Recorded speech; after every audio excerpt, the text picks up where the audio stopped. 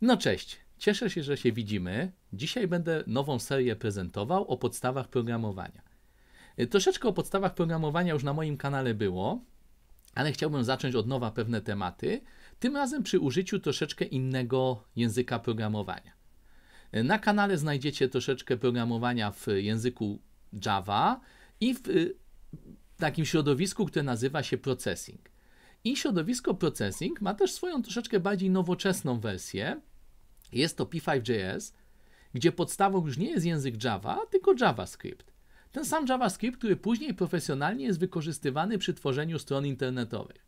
Tak? Yy, Współczesne strony internetowe w zasadzie bez JavaScriptu obyć się nie mogą. Na każdej stronie coś się dzieje, coś jest oprogramowane.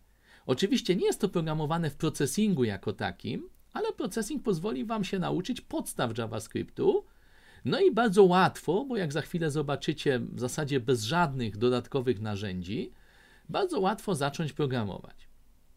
Także zachęcam Was do tego, żeby przez tą serię sobie ze mną przechodzić i żeby próbować właśnie tych podstaw się nauczyć, bo później możecie je wykorzystać zarówno w JavaScriptie, jak i w innych językach programowania. Bo tak jak mówiłem, to co tu jest, jest podobne do processinga, znowuż processing jest oparty o Java, a znowu Java jest językiem, który jest wykorzystywany w biznesie. Tak, więc jakkolwiek by się nie zacząć uczyć programowania, warto się zacząć uczyć programowania. No, okazuje się, że nawet takie mniej popularne języki, jak na przykład COBOL, mogą mieć swoich y, am, a, a, amatorów i mogą przynieść mnóstwo pieniędzy, dlatego że teraz z okazji chińskiej zarazy okazało się, że w Ameryce poszukiwani są programiści COBOLa, czyli języka z lat 60., 50. zeszłego stulecia, języka, który wydawało się już niemalże wymarł. Dlaczego są poszukiwani? No dlatego, że w tym języku są napisane systemy do obsługi ubezpieczalni i ubezpieczeń społecznych, czy jakichś innych tego typu. No i nagle się okazuje, że z powodu zarazy zmieniają się pewne zasady i trzeba przeprogramować system. A system został zaprogramowany w języku sprzed 100 lat, no 100 przesadzam, ale sprzed na przykład 40-50 lat. No więc to nie jest tak, że jakikolwiek język wybieramy, to jest to obojętne, tak? no, trzeba wybrać taki język, który jest do po konkretnych potrzeb, ale z drugiej strony to też nie jest tak, że powiedzieć, a ten język jest do bani. Nie? Więc poznajemy różne języki programowania i dzisiaj no na pewno bardzo popularny język JavaScript w początkowej swojej takiej wersji uproszczonej do P5.js. Spójrzmy sobie do przeglądarki, gdyż P5.js działa w przeglądarce. Można go też uruchamiać poza przeglądarką, ale to znaczy, no ostatecznie zawsze to będzie przeglądarka. Można też pisać może poza przeglądarką, tak, ale bardzo wygodnie się też pisze w edytorze, który jest dostępny online. Czyli nic nie potrzebujecie poza przeglądarką. No i tą właśnie tutaj stroną, którą widzicie, p5js.org. Na tej stronie jest edytor. I ten edytor, czyli z boczku wszedłem w edytor, i ten edytor pozwala nam od razu pisać program, nawet bez logowania się jeszcze. Aczkolwiek warto sobie założyć konto, gdyż po założeniu konta te programy będą się zapisywały. Jeżeli nie macie założonego konta, no to ok, program napiszemy, ale po zamknięciu przeglądarki on niestety zniknie. Także ja już mam konto założone, więc się tutaj zaloguję. Można się logować również przy pomocy konta na GitHubie, można się logować przy pomocy konta w systemie Google, ale ja mam po prostu założone konto o nazwie lobo.guru i to konto jest do wykorzystania po prostu w processingu w tym P5.jsie. No więc loguję się i mam u góry hello Lobo Guru, jestem na moim koncie. Jeżeli nie macie swojego konta, to ja wrócę do tej do tego momentu, kiedy się wyloguję, to tu jest poza login, jest jeszcze sign up, czyli zapisz się, tak? I po wybraniu sign up podajemy wybrany pseudonim, podajemy hasło i podajemy po prostu adres e-mail, który będzie potrzebny w razie odzyskiwania hasła. No i tyle. Więcej tam podawać nie trzeba. Więc jeszcze raz zaloguję się. I teraz, moi drodzy, to co tutaj mam w nomenklaturze P5.js czy processinga, to jest szkic. Czyli taki jakby fragmencik, to nie jest gotowy program, to jest tylko jego część. I ten szkic akurat tutaj w tym edytorze dostaje nazwę losową. No ona ma być jakoś tam w pewnym stopniu śmieszna, ale mi się te nazwy nie podobają, dlatego że po 10 programach to ja nie wiem, jaką on mi losową nazwę wylosował dla jakiego programu. Czyli można sobie tutaj ołóweczkiem zmienić nazwę na na przykład mój pierwszy program. I wtedy już będę wiedział o co chodzi. Wtedy, jeżeli wybiorę file, save, no to on się pod tą nazwą zapisuje nam na chmurze, na naszym koncie w internecie. No i teraz tak, ten szkic, ten fragment programowania y, składa się tutaj już z dwóch gotowych funkcji. Funkcja setup, setup, czyli ustaw, skonfiguruj, coś takiego, i funkcja draw, draw, czyli rysuj. I teraz jak to działa? W momencie, kiedy uruchomię ten program, po prawej stronie pojawiło mi się takie szare okienko. Y, to się w terminologii y, JavaScriptu nazywa canvas, po polsku płótno. No i na początku właśnie funkcji setup mam create canvas, czyli utwórz mi to płótno. O jakim rozmiarze? No 400 pikseli na 400 pikseli, dlatego mamy taki kwadracik z boku. Jeżeli tutaj zmienię na na przykład 200 pikseli, uruchomię, moje płótno jest prostokątem, dalej na szerokość 400, a na wysokość 200. Czyli piksele, no mówię dla początkujących, więc wyjaśnię, że piksel to jest picture element. Pixel skrót od picture element oznacza element obrazu. Czyli taka pojedyncza kropeczka, jakbyśmy mogli powiedzieć na naszym monitorze, to jest piksel. I 400 pikseli na szerokość oraz 200 w dół daje nam taki prostokąt. Y, moi drodzy, te piksele w processingu czy w P5.jsie zaczynają się tutaj, w lewym górnym rogu. To jest troszeczkę inaczej niż na matematyce, gdzie mamy kartezjański układ współrzędnych, no i tam mamy, na środku jest, prawda, 0, 0. Tutaj to 0, 0 jest w lewym górnym rogu, oś x, te współrzędne koordynaty idą w prawą stronę, tak jak na matematyce, czyli 1 piksel, 2 piksele, 3 piksele, 4 piksele w prawo, ale oś Y jest obrócona strzałką w dół, czyli jeden piksel w dół, drugi piksel w dół, trzeci piksel w dół. Ale do tego jeszcze przejdziemy. No i teraz ten program cały czas się wykonuje. I co on robi? Cały czas rysuje mi tło o kolorze 220. O kolorach też jeszcze będziemy sobie mówić. Natomiast te 220 to jest nazwa koloru, numer koloru, który odpowiada temu szaremu z boku. Proszę spojrzeć, jeżeli ja tu zmienię na 0, moje okno stało się czarne. Dlatego, że kolor czarny to jest właśnie 0. Gdybym tu zmienił na 255, to y, okno stało się białe, to płótno stało się białe. No nie bardzo to tu widać, dlatego że ten szary, na którym ono było, jest prawie że biały, więc różnica jest bardzo niewielka. Jeżeli się przyjrzeć, to można tutaj zauważyć różnicę pomiędzy tym szarym a, a, a tym białym, ale jest to kolor biały. Y, o kolorach będziemy sobie mówić później. Na razie powiedzmy jakiś kolor, powiedzmy 100, to będzie gdzieś pomiędzy czarnym i białym, czyli jakiś odcień szarości. No i to jest to moje płótno. I teraz na tym płótnie ja mogę sobie rysować pewne elementy, nawet elementy animacji, ale na początku niech to będą zwykłe elementy, na przykład prostokąt. Czyli po narysowaniu koła, e, e, tła, wpisuję takie polecenie rest, na przykład 10, 20, 100, 100 w ten sposób i powstał mi prostokąt. Jak ten prostokąt, prostokąt w zasadzie kwadrat, no ale kwadrat też jest prostokątem, czyli się nie pomyliłem, jak ten prostokąt jest tutaj umieszczony? Otóż jest on umieszczony 10 pikseli od lewej krawędzi. Czyli tu ta wąska odległość to jest 10 punkcików obrazu. Następnie 20 pikseli od górnej krawędzi. Czyli program odmierzył 10 pikseli w bok, potem 20 pikseli w dół, No i tu mu się rozpoczął prostokąt. I następnie narysował prostokąt, który ma 100 pikseli szerokości i 100 pikseli wysokości. No, 100 na 100, czyli powstał kwadrat, taki specyficzny prostokąt.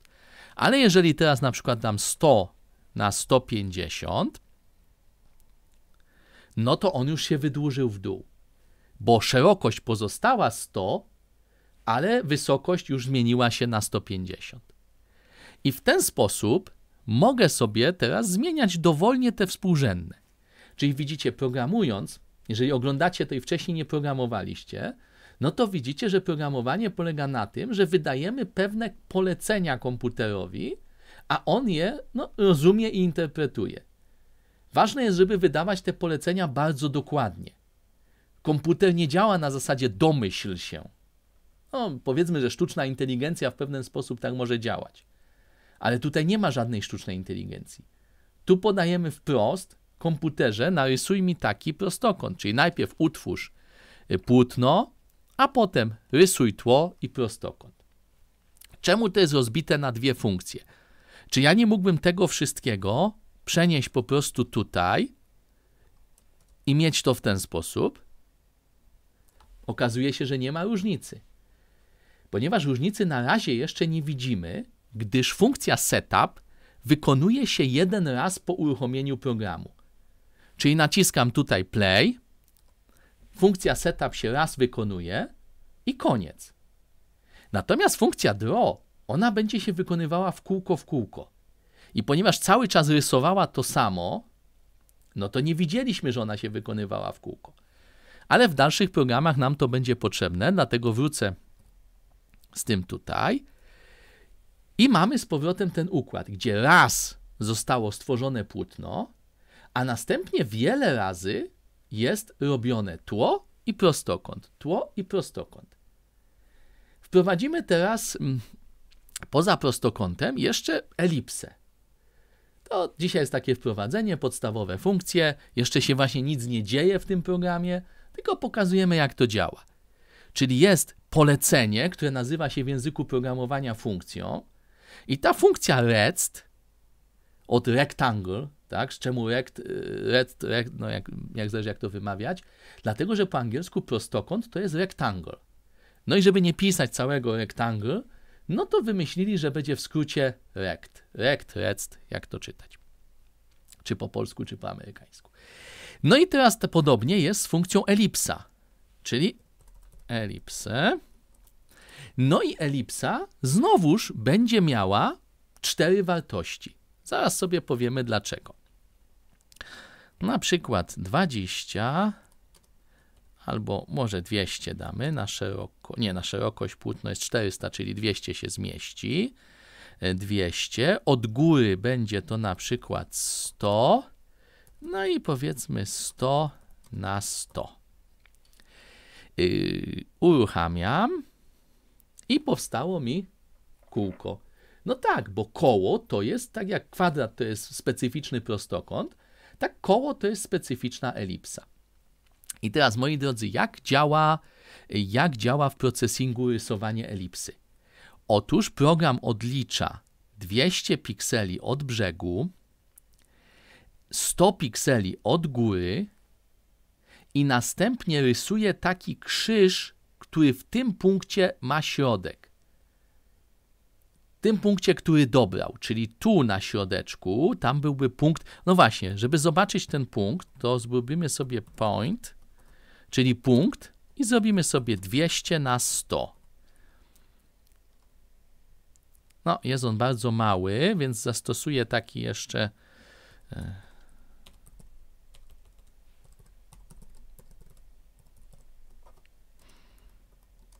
Chyba przesadzę teraz. No tak, przesadziłem.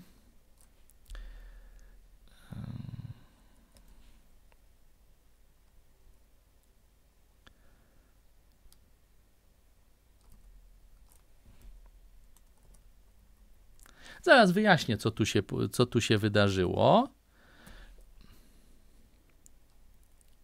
Ok. Czyli mamy punkt. Do tego jeszcze, jeszcze wrócimy mamy punkt, który jest w punkcie 200 i 100. Tak? To jest ten punkcik tutaj. Więc żeby narysować elipsę, program idzie do punktu 200 i 100, do tego środeczka, następnie robi średnicę, tak? Średnica koła to jest tutaj i średnicę tutaj. No w przypadku koła możemy tu mówić o średnicy, natomiast jeżeli teraz to nie będzie 100 na 100, tylko będzie na przykład 100 na 200, no to elipsa nam się w ten sposób naciągnie. Czyli ja sobie to lubię wyobrazić, że tu po prostu jest narysowany krzyż. Czyli linia tu pionowa przechodząca przez ten punkt, linia pozioma przechodząca przez ten punkt. No i w efekcie powstaje nam krzyż i na tym krzyżu wokoło jest to jajeczko rozciągnięte. Więc jeżeli ten krzyż ma równe ramiona, to powstanie koło. Jeżeli ten krzyż któreś z ramion ma dłuższe, to powstanie nam elipsa. No jeżeli konstruujecie elipsę na matematyce, no to tam są ogniska tej elipsy, od tych ognisk się zatacza promienie. Tu jest to troszeczkę inaczej. Jest po prostu krzyż i na tym krzyżu jest rozpięta elipsa. Dzięki temu mi się wydaje, że dużo prościej się myśli niż z tymi ogniskami elipsy i dzięki temu możemy sobie łatwo wyobrazić krzyżyk i taki jak on będzie, takiego będzie otaczała figura. No oczywiście w tym specyficznym przypadku, kiedy są dwa identyczne ramiona, no to powstaje nam koło. No i na zakończenie tego odcinka, bo już myślę, że dużo tutaj takich podstawowych rzeczy wprowadziłem, na zakończenie wyjaśnię, co ja tu kombinowałem z tym poleceniem. Otóż to jest polecenie, które ustala grubość linii. No i jeżeli nie było najpierw tego początkowego i dałem tutaj przed rysowaniem punktu grubość linii, to okazało się, że grubość linii wszystkich figur stała się większa. Dlaczego? Dlatego, że mówiłem, że ta funkcja jest powtarzana. Ona w kółko w kółko się wykonuje.